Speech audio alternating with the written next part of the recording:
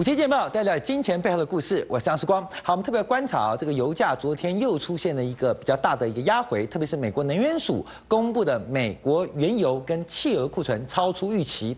那现在大家都特别关注啊，因为今年以来，二零一四年最令大家意外的就是原物料的崩盘，从铁矿砂。到油价都出现了百分之五十的腰斩跌幅，那这时候有一个很重要的观察点，就是过去这些原物料它带有工业特性，像铜价我们叫做景气博士，叫铜博士，随着铜价的涨跟跌，可以看出景气的变化。那石油是能源的。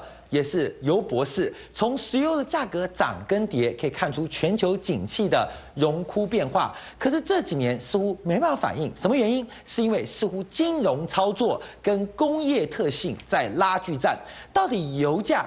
过去一百块美元维持了五年之久，一百块美元有多少是我们的能源特性，又有多少是金融特性？一百块美元是不是有其中六十块钱是金融炒作的水分？只有四十块钱能够真正反映全球消费的需求？所以，我们第最后一段来做讨论。好，那位观众知道吗？在大选过后，在两个礼拜之前，十月十四号，在秘鲁的利马，召开了全球气候的变变迁大会，那居然。做出了极重要的决议，就是针对过去二十年来一直不能解决的碳排放，特别是中国跟美国竟然相互让步，决定在明年签署巴黎协定。那台湾的碳排放其实非常非常严重，可过去是无形成本不用缴钱，可是很快的可能碳排放就要遭到国际的贸易瞌税，这会对台湾什么影响？那最重要的是今天有个公听会，最近我们看到煤价。有一个天然气、油价都大跌，那台电是不是应该降价？今天由这个民进党立委黄伟哲跟国民党立委这个杨琼英联合召开的一个立法院的公听会，就在讨论台电的定价公式。那我们特别观察哦，因为今天国发院的研究员讲到台电的绩效，你知道怎么形容吗？好到变态。到底我们怎么解读台电是要降价？而且这些国营事业的年终奖金该不该检讨？给的是不是太少，还是给的太多？我们这边请教三位来宾。第一位请教是台大哲学系的教授苑举正苑教授。好，第二位请教是万宝投顾的蔡明章蔡总。第三位请教资深的财经记者林万明。好，我们先看到叫爱他不要伤害他。那过去这几年，我们知道台湾常常针对啊我们的国营事业，包括自来水公司，包括台电，包括了中油，常常攻击，一个是公营攻击啊绩效不佳。那另外就是每个年底都要攻击他的年终奖金领太多，可是有没有人比较过，到底台湾的中油、台湾的台湾电力公司到底绩效好不好？我们今天用全球的对比，让观众知道。台电的绩效是不是正如国发院的研究员讲到，好到变态？所以是不是台湾的国营事业是台湾经济发展之基础，也是台湾之宝？我们都要做一个解读哦。那我们先看一下，因为最近原油天然气价格跌的很多，我们光是从下半年以来来做观察，包括纽约轻原油全球原油的一个计价标准，跌幅是高达了百分之三十九点八六，全年下跌更是超过五成。那另外一个台湾非常依赖的天然气价格。在过去半年，特别是十月份过后，出现了猛烈的崩盘啊！这个价格从穿头破底，跌幅也是高达二十二点三一 percent。那油价今年跌了五成，天然气在过去半年跌了两成。那台湾是不是电价也应该做调整呢？我们先看一下，这是今天。今天到下午三点，全天的台湾发电的结构图，什么结构？就台湾发电的来源是来自于吹风，还是来自于太阳能，还是来自于核电厂，还是来自于燃气或燃煤啊？我们看一能源类别啊，台湾今天啊，到今天呢。这个下午十二月二十五号耶诞节嘛，今天下午三点为止，台湾依赖燃煤的这个比重啊，是呃燃煤比重是最高的，高达百分之三十六，等于我们每三度电就一度电是用燃煤发出来的。那另外三分之一是天然气，每三度电另外一度电是用天然气发出来的，所以燃煤跟燃气占据台湾发电量的。将近七成，那另外有百分之十八是来自于核电厂的发电。可真正大家最近看到油价崩盘的燃油啊，事实上燃油发电在台湾今天的总发电量只有百分之三点一，所以严格来讲，油价喷出或油价大跌，基本上对于台电的成本是影响不大的。可油价的大涨或大跌，可能会连带的影响天然气跟煤价。所以蔡总，我们就来做观察哦，因为特别是最近天然气、煤。油价格都大跌，所以使得说台电的成本似乎出现明显的一个改变。所以今天立法院召开的一个公听会啊，就针对目前的电价公式来做讨论。因为今年台电看样子准备大赚了，而且按照目前的售电价格，明年的获利更是可观。可是台电过去累计亏损超过两千亿，我们怎么观察今天这场立院的公听会？我我先看，我们先看一下哈，这个正反面的个看法。啊，台电董事长黄崇球，他以前是这个经济部的次长，是转任到这个地方。二零一二年呢，这个油电双涨的时候，他就接任了台电董事长。但是你看他的说法说，依据公司法，台电所产出的任何一毛钱的利润，都应该拿来弥补亏损。对，显然他站在自己的立场，哎，这个我们可以理解啊。对，你董事长出来，当然是替自己来讲话。那另外你看，像这个呃台。前台联的这个立委，现任的这个呃陈大的教授叫许忠信啊，他说台电是独占事业，不应该有利润，否则与民争利。那这种观念的话呢，尤其在很多啊这个国家里面都是这样。是国，尤其是国营的公用事业，它是力求呢损益两平，对，而不是一个利润啊。是，这也是一种看法。再过来就是国策会的研究员黄世修啊，对，他说。大家认为，呃，这个家的重建成成本，这个已经啊确定没有了。对，每度啊零呃零点一元。对，那这个不好看。那前提就是要提高台电的合理利润啊。那这个合理利润以前是九到十二趴，现在可能会修到五趴。但是我我看到呃经济部说可能要六趴了。对。那假如有五六趴的话呢，才能把目前。台电啊，到去年是累积的亏损是两千亿，那今年因为赚了两百亿，大概今年年底啊，累积亏损可以降到一千八百亿，但是。还是非常可怕的一个数据。台电资本额是三千亿哦，所以基本上亏损两千亿。假如是上市公司，现在应该是全额交割股，全额交割，所以这是蛮恐怖的一事情。那刚刚提到的计价公式，就是新版的计价公式，这个问题很大，因为第一个是原料大跌，那另外一个是核电现在是等于是停机封存，这个成本怎么算？那另外一个就是台电累积亏损，我们看到台电亏了十年，终于赚了半年，可是现在又成为人民的一个公敌。我们应该怎么观察这个电价公式的一个计算？刚才公听会有各种不同的看法，对，但显然公房是在合理的利润，是。为什么？这个重建成本已经拿掉了，对，所以我们看一下这个公式里面啊，对，那公式里面啊，我把它分成两个部分啊，第一个部分呢就是合理的利润，哦，这是有争议的，对，这个是争议点，对，那我先讲这个部分，等下第二个部分我再讲。合理的利润的话，它是怎么算？它是用啊这个五年期的公债的值利率大概一点四趴，是加上无风险的利率大概二到四趴，所以它这个 range 会落在差不多三点五到五点五，这是它的合理利润。那以前是九到十二趴，现在新版的公式降到了这个水准。好，那可能就简单来讲，就三到六趴。对，那对民众来讲，希望的是什么？三趴。对，因为三趴的话。台电的利润比较低，我们的电价就比较便宜，对，全民有利嘛。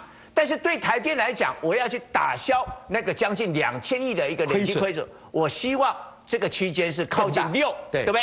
那这个啊，毕其功一亿嘛，一次就可以解决。好，那这里面就差，你不要小看呢，三到六趴，这对大家的这个生活影响很大。所以这个合理的利润呢，我自己的看法是这样，应该是要一并的。把第二个部分拿来看，你看哦，这里变数是燃料，燃料成本，对，用人的费用是，其他的营业费用，我觉得这几个点呢都可以考虑。比如我们来讲一下燃料，是。你刚才说到这个呃燃煤是占了三十五个 percent，对，但是呢，今年哦，这个台电呐，它大概整个呃燃料的一个成本下降了九十亿，其中的五十亿就是燃煤，燃煤，对。但是呢，我们把它仔细算一下，它每公吨啊是八十四美元，还比国际的行情多了八趴。对，多了八趴。所以呢，假如我们说，我们不要说它多厉害，采购的成本比国际更低，没那么了。比较国际的话，它至少再可以节省五十亿。对，然后呢，天然气很不合理的就是台电的天然气是要透过中油去买，是，中油也很差。其实天然气你刚才那个不是半年已经跌了二几趴嘛，对不对？结果他等到十一月份，中油给台电的天然气才降价，是，才降价。对。那假如这样的话，十二月降了以后的十二月一个月哦，就这个月十二月，减了十亿，是，减了十亿，哦，一年可以省一百二十亿，光是十二月这样算法的话，对，好，所以啊，光这个燃料的成本呢，我觉得放在第二个部分，就是说可以争辩，你台电是不是要改革，我说我始终哈搞不懂的啊，一点就是说为什么要透过中油？是，然后台电这个问题很多人都讲，你为什么买的就是比别人啊贵？对，这里面有没有什么弊端？再过来，你看哈，人事费用后面啊，这个再讲哈，这个有这个外面会讲，其他的营业费用，你知道哈，我们很多政策的补贴是，比如说离岛的这个电，对，那个是应该政府来负担的，结果台电买单，对。我看那个累积那个账上的数字啊，天天文数字五百多亿耶，它的路灯的电费也是台电去贴的，对，还有敦敦亲睦邻呐，举办活动、运动会啦，购买书籍啦，通通都是台电，是。那我现在哈，比如说世光，我们都是纳税人，我已经呢，对中华民国政府缴了一笔税。对，这一笔税你本来就要把离岛的这个供电，你已经要把它买单买掉了。对，结果他没有买单，转嫁到这个台电，然后台电再涨我的电价，我再贴我的钱，再缴一遍，等于感觉怪怪的。两遍啊。对，我觉得这个是可以改革的。是，假如改革，我们假设好，第一个变数合理利润，第二个变数它本身的改革。同时并行的话，那我觉得分阶段，第一个阶段要给你一个台电改革压力，所以我给你三趴。对，哦，那你只要改革很不错了以后，慢慢我给你调整。是，也许我们经过一段时间，每年每年来调整这一个合理的利润。这样不会说一下子我定六趴，万一定六趴了以后，我们的电价没没没什么降。对。然后呃，台电又想说，哎，我拓懂啊，对。我接下来我十年我就可以把这个亏损打掉。回去对。哎，我觉得好，要同时把这两个变数考虑。所以台湾的这个税负或国营事业，现在最大的诟病，关表其实不是经营绩效，哦像我们之前讨论的证交税，这个证券交易税明明是交易性质，可是却含有所得税的功能。台电明明是卖电的，可是电价当中却有。收税的味道，这就怪了。为什么？因为台湾所有东西哦，就是卖羊头，这挂羊头卖狗肉。正交税、交易税怎么有所得税功能？这全世界最诡异的一个证券市场。而台湾的电价的收费机制也非常诡异，明明是电价，却有其中还有一些对离岛或偏远地基的地区的补贴税。所以外面跟我们就要观察，因为另外一个问题啊，就刚刚提到了，哎。这个台电开始赚钱了，国营事业员工哇，今年又领得饱饱的，特别是台电排第六名啊，年终奖金高达二十三万六千元，平均来讲，所以等于平均每个月多添两万块钱，很多人看着不高兴啊，凭什么？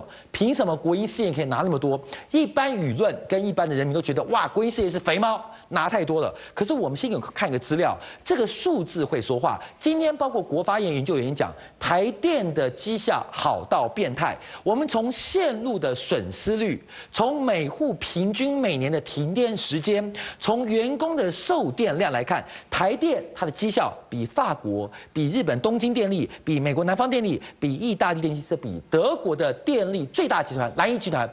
都来得更强。台湾是一个海岛国家哦，线路损失率受到台风影响，常常会断线。可是我们可以维持一个非常高的品质。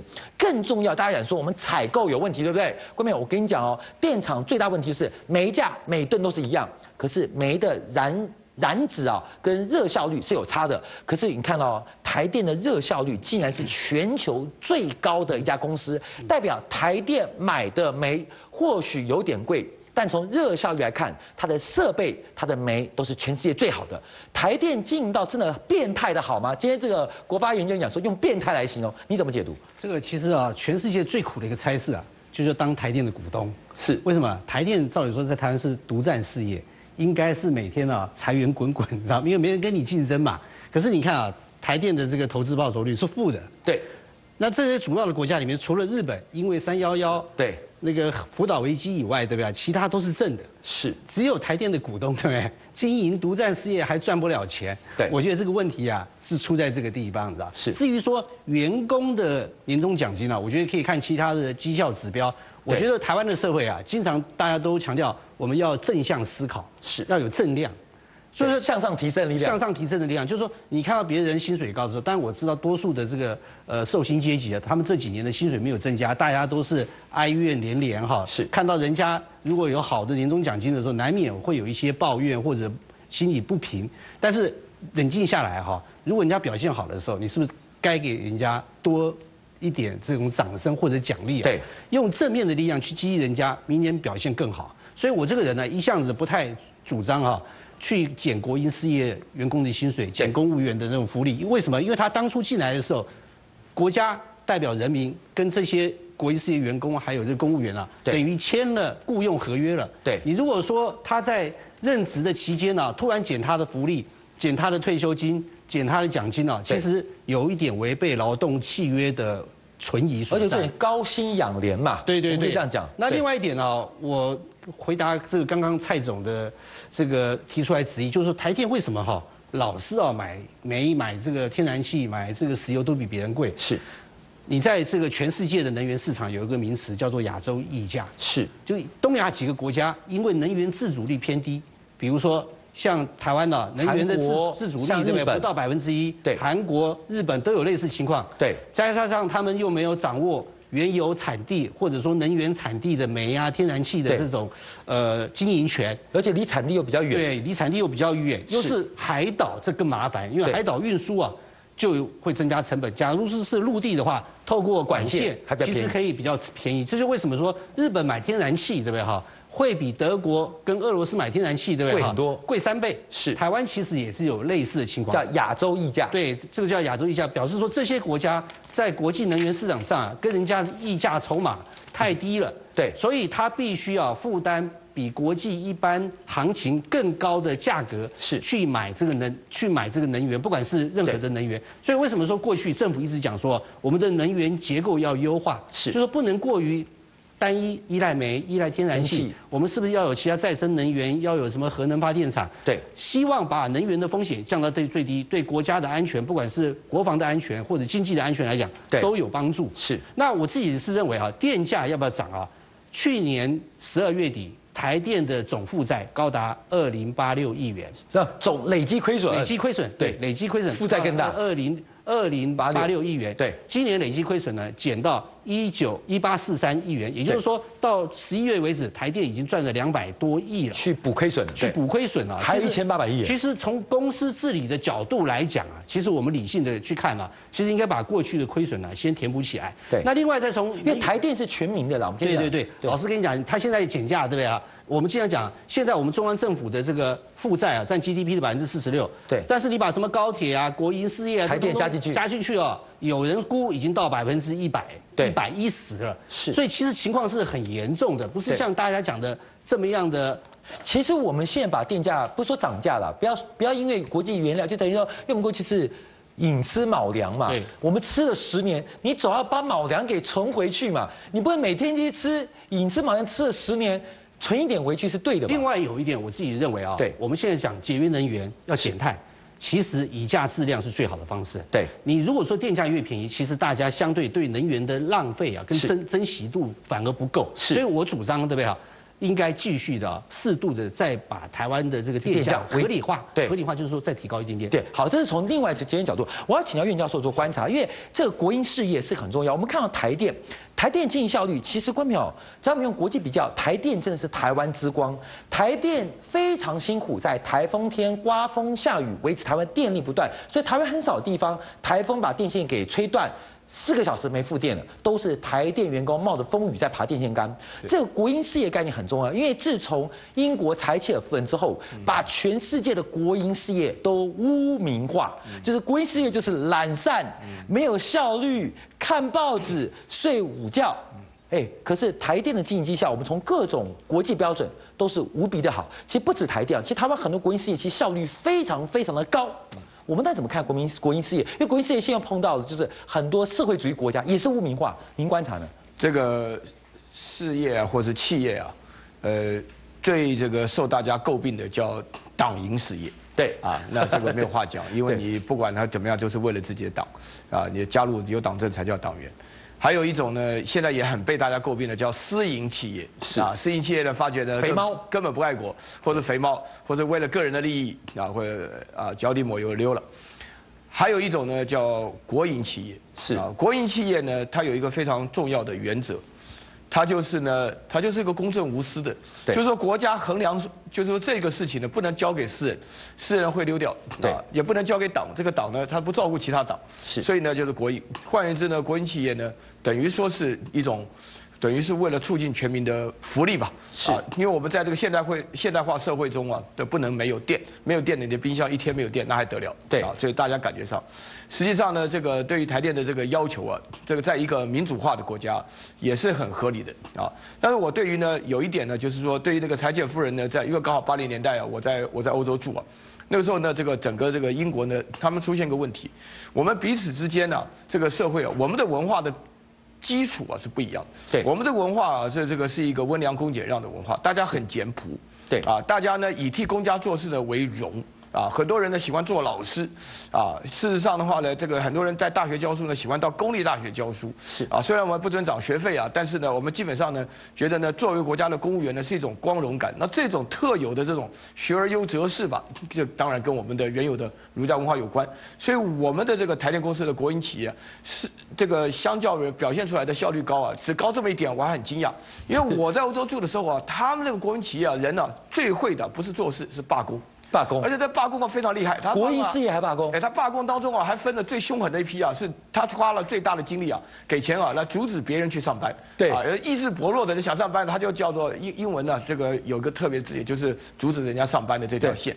然后其他人呢，就是把那个汽油拿出来这么烧轮胎啊，这么冬天都是罢工。所以说罢工也阻止人家上班。对，所以国营事业，我在这边的话呢，我是觉得说呢，因为牵涉到大家一个公正无私的一个国营事业，啊所以我觉得刚刚那个主持人也提到过高薪养廉的问题。高薪养廉的问题啊，我们通常想到这个名词就想到新加坡了，是啊。但是新加坡有一点跟我们很不一样，新加坡我不晓得他们是只有法治，没什么民主，我们是呃。也有法治了，但是不多。但是我们还有民主，对，所以两国之间的文化不太一样，所以导致一个结果就是他们那边的公务人员，尤其是高级公务人员的那个公信力非常高，是啊，他们有的时候连国家盖房子啊，什么各方面的政策，相较我们而言呢，我们简直都是不可想象的。是，所以说，如果说一个国家在推行民主的过程中没有建立公信力，是任何的这个计算呢都是有困难的。所以刚刚大家只想到了利润，没有想到合理，这个合理的问题就涉及到很多层面。好，我们知道顾强有电。影讲的是山野 BOT，海野 BOT，可国家面临那么多大型建设的时候，因为国营事业的污名化，使得很多大型的建设或投资必须仰赖民间。可是我们看过去台湾二十年，几乎所有 BOT。都不太成功，甚至失败，是不是一个机会给国营事业一个证明的声音，一个暗战的思考？台湾需要向上提升力量，或许我们很多台湾之光正在每天为台湾发光。我们接上广告回来看啊，这是台湾向上提升力量，可是一个往下台湾向下沉沦事情即将发生，就是两个礼拜之前，在离太平洋另外一端秘鲁啊，这个利马。首都立马召开了联合国的气候变迁大会，竟然出现了令大家意想不到的重要决议，而这个决议对台湾非常不利。到底是什么样的气候变迁的协定会对台湾影响？这样广告，我要告诉你。